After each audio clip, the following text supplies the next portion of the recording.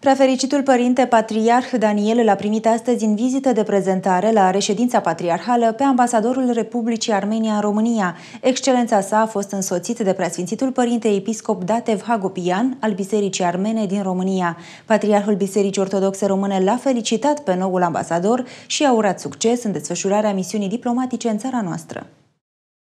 La reședința patriarhală a venit astăzi în vizită de prezentare ambasadorul Republicii Armenia în România, Serghei Minasian. Excelența sa a mulțumit pentru primire și a transmis salutările preafericitului părinte Carechin al doilea patriarh catolicos suprem al tuturor armenilor. De asemenea, și-a exprimat aprecierea pentru bunele relații pe care le au cele două țări, dorind intensificarea acestora în deosebi a legăturilor spirituale și culturale. Preafericitul părinte patriarh Daniel a evidențiat importanța dezvoltării unor proiecte comune privind activitățile tineretului, accentuând că tinerii nu sunt doar viitorul bisericii, ci și prezentul acesteia. Ambasadorul Republicii Armenia în România a dorit să mulțumească poporului român și Bisericii Ortodoxe Române pentru prietenia arătată față de comunitatea armeană din România și a subliniat rolul important și echilibrat al Bisericii Ortodoxe în societatea românească.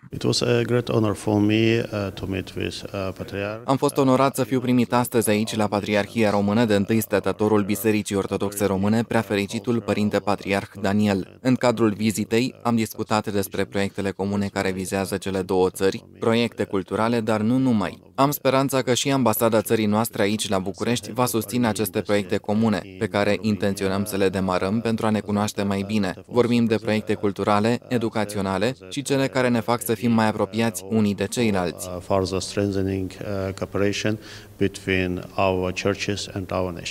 La final a fost exprimată speranța comună a înființării unei viitoare curse aeriene directe București-Revan, care va putea facilita organizarea de pelerinaje în Armenia și România.